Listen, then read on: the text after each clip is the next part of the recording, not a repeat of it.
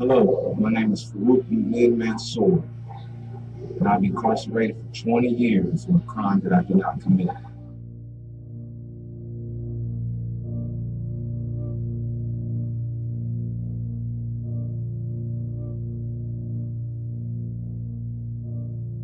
Uh, I'm Harold Andrew Lee Jr.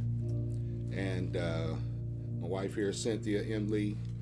Uh, we're Andrew Lee's mother and father, and um, Andrew grew up in this house.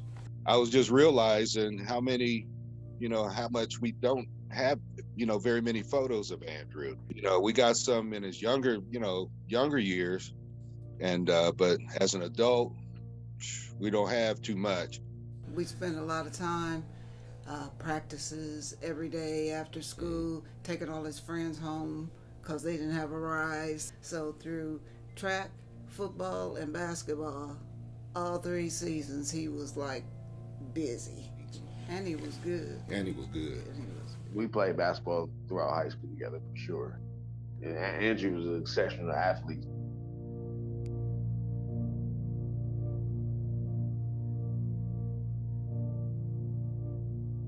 probably could have been, ended up in, in the uh, NFL. And then this tragedy hit.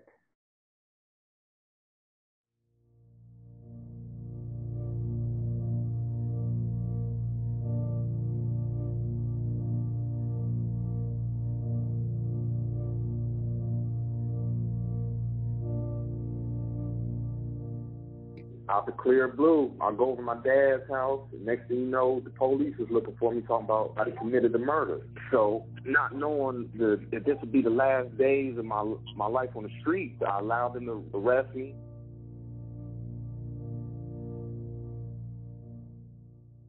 I want people to know the truth. I want people to know that I'm innocent of this crime, and I just want my name back. I, I want, I want, I, I want my name back.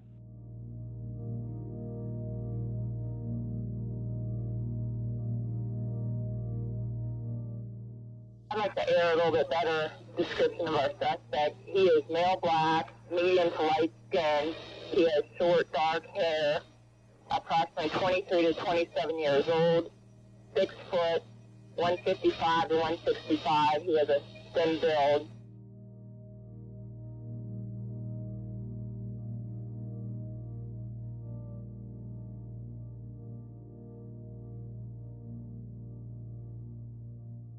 They didn't uh, use DNA to prosecute Andrew.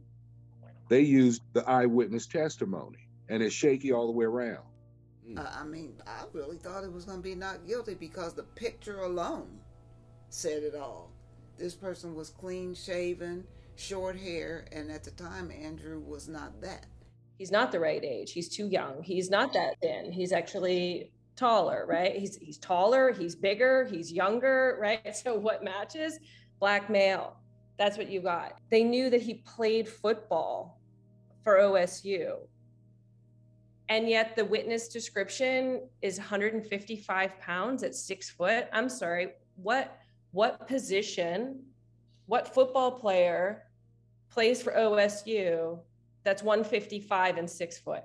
He should have been eliminated immediately on the basis of the size.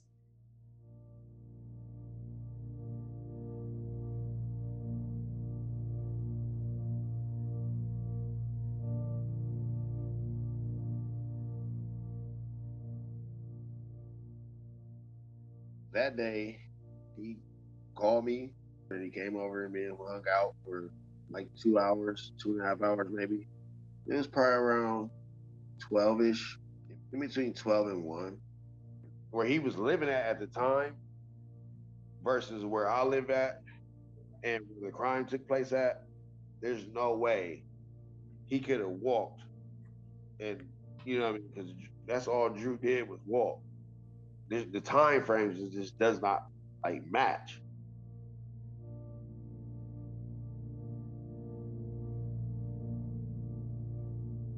The attorneys were aware that the gun was found on Cameron Cruz, but nobody ever questioned him about it, and he never showed up at the trial.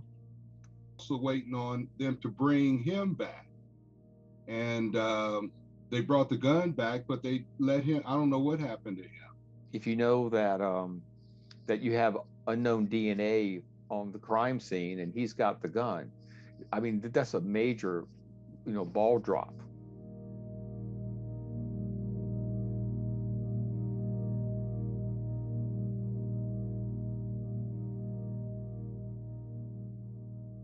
Come back inconclusive. It came back to where it showed that it wasn't mine.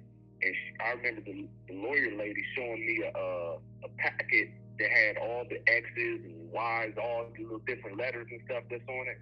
And none of it matched me. Not one single thing matched me. Our, our Y chromosome, which is very specific to males, doesn't mm-hmm. match the whole profile. It doesn't match at all.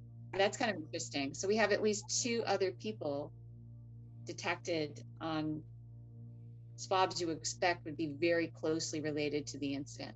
I mean, I'm looking at lack of evidence. You know, there's no DNA that corroborates him being there. There's no semen evidence.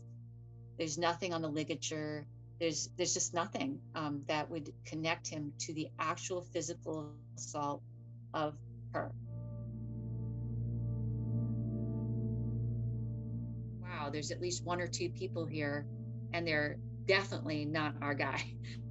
That's a piece of evidence that if a jury would have heard, may have walked your guy out the door. But that's what puzzles me right there. You have that that quality DNA from that location. It doesn't match him. Why are we here? After being locked up for 20 years and fighting and fighting and fighting, it gets frustrating. You cry a lot. You, you just go through all types of emotions. Today is a good day. But usually I deal with a lot of depression, mm-hmm. just missing out on life, missing out on kids and family events and just going outside, just simple stuff. And here, you hear a lot of stories. You see a lot of people's lives, and you see a lot of people who don't have anything. I'm one of the lucky ones that has a supporting cast. Now, you know, I've really grown up in here, grown up in prison. I'm studying to be an imam or a teacher, so I can speak Arabic. You know, I grew up, we grew up somewhat in an Islamic household, but uh, I really converted and took it serious 2010, 2011. It just, it happened naturally and ended up changing my name, get my name changed. You know, I really respect him. You know, I look at the what he's going through. I say, you know, I look at it as that's his path and he's got time to come out and, and do something good. You know, do something good. I really think he's going to do that too.